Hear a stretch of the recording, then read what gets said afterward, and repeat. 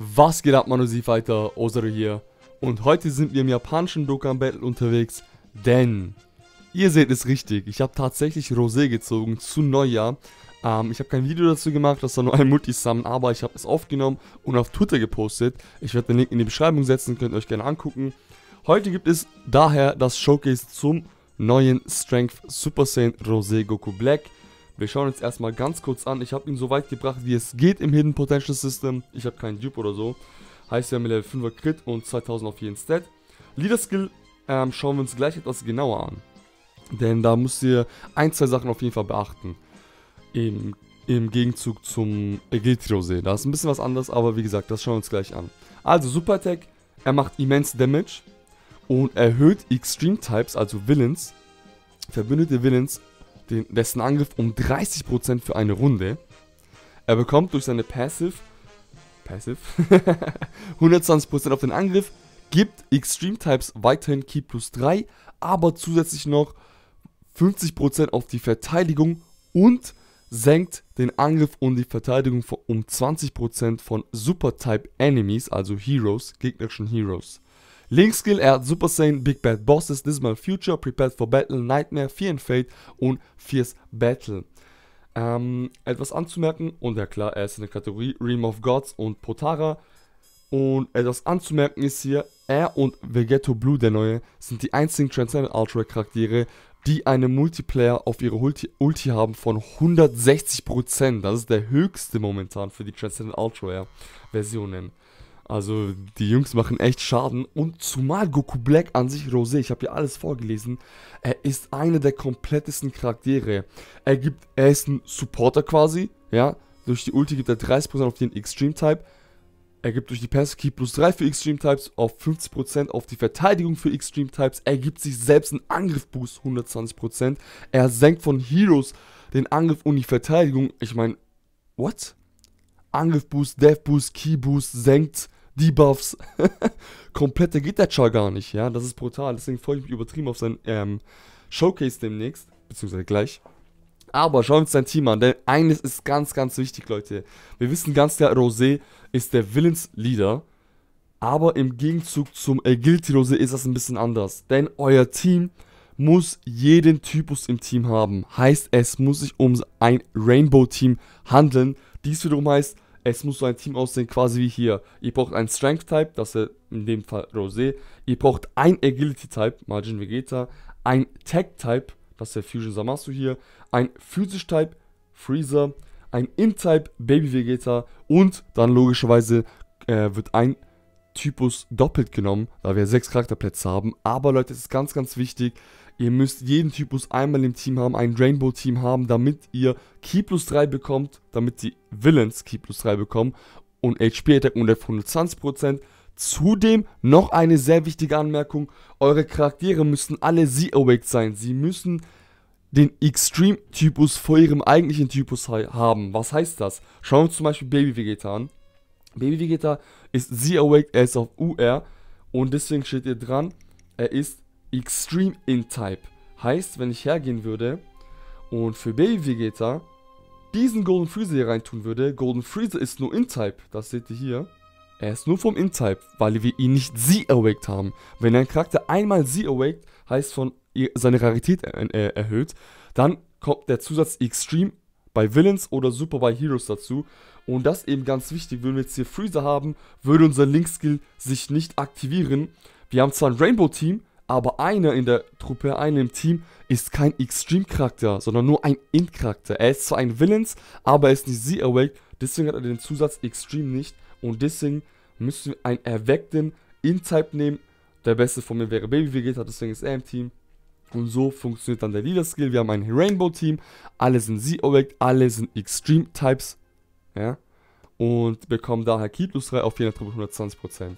Okay, so viel zum Charakter selbst, so viel zum Team selbst. Ich würde sagen, wir schauen uns kurz mal Rosé im Kampf an, triggern jeden seinen Linkskill und gucken, wie macht er den meisten Schaden unter den besten Voraussetzungen. Bis gleich. Alles klar. Also außen vorweg haben wir natürlich sein Leader-Skill getriggert, heißt, das ist das höchste, was man bei ihm gehen kann. Zweimal 120% in seinem eigenen Team quasi oder Potara oder Realm of Gods.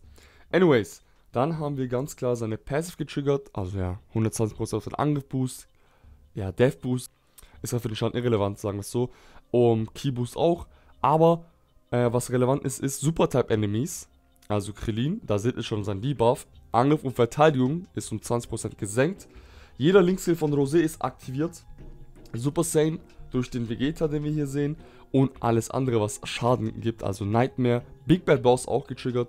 Ähm, und Fierce Battle durch Samasu. Jetzt schauen wir mal seinen Schaden an, heißt, jeder Linkskill ist quasi jetzt bei ihm wirklich getriggert. Jetzt bin ich auf seinen Schaden gespannt. Ich bin wirklich auf seinen Schaden gespannt. Gucken wir mal an, wie das Ganze läuft. Und zwar Super Saiyan Rose. Alles getriggert, jeder Linkskill, jeder Passive Skill, seine Debuffs. Und 2,3 Millionen ist sein reiner Schaden, Leute. 2,3 Millionen ist dieser Schaden, den wir sehen, in dem alles bei ihm getriggert ist. Ja? Jeder Passive-Skill, jeder Link-Skill, jeder Buff, jeder Debuff auf den Gegner. Insane. 2,3 Millionen reiner Schaden. Nicht schlecht.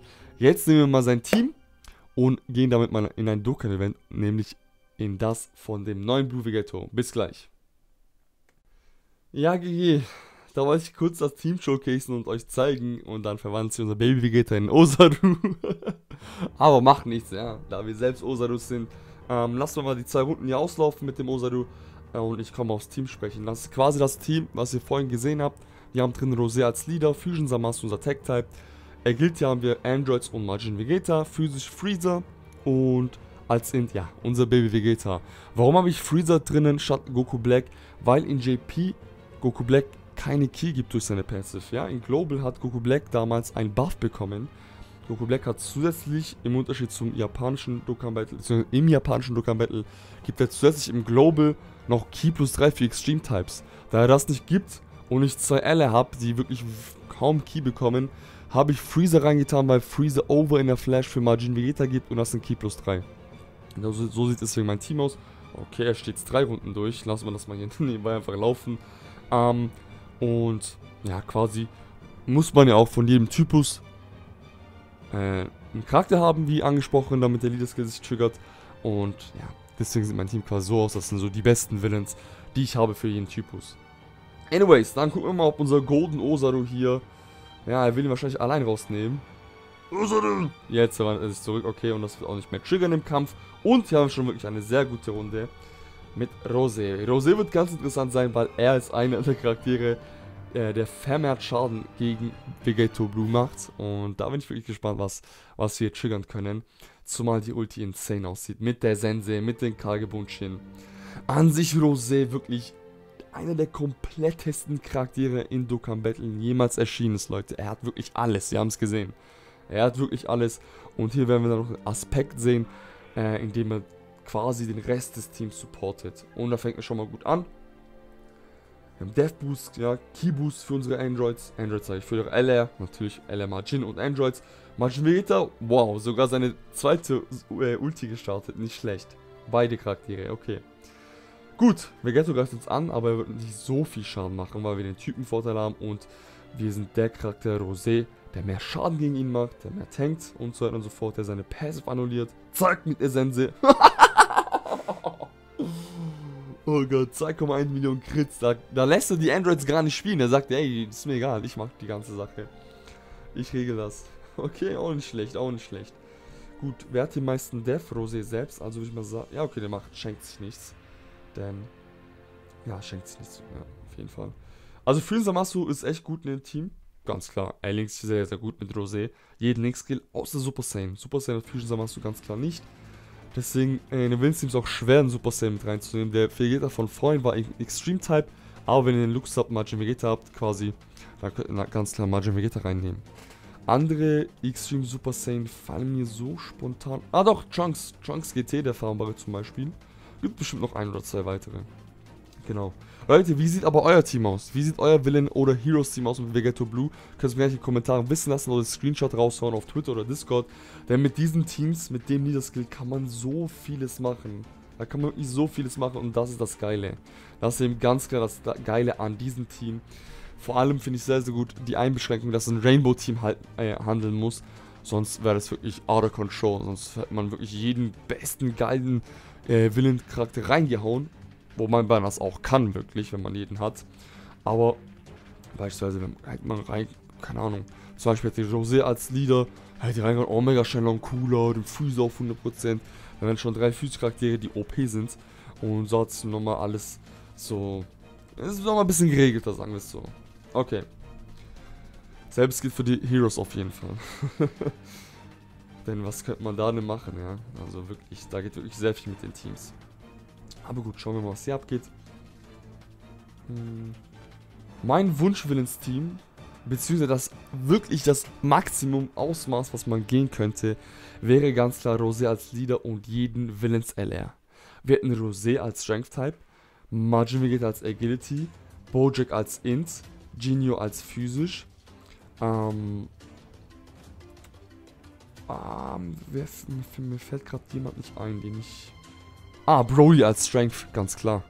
Ja, also gebt euch das Team an, das ist insane. Und dann könnt ihr noch quasi noch ein LR äh, von Extreme Type, denn jeder Typ ist quasi schon gesetzt, ja, wir haben, ja, oder? Agility? Stimmt, Margin, okay. Tech? Tech-Type.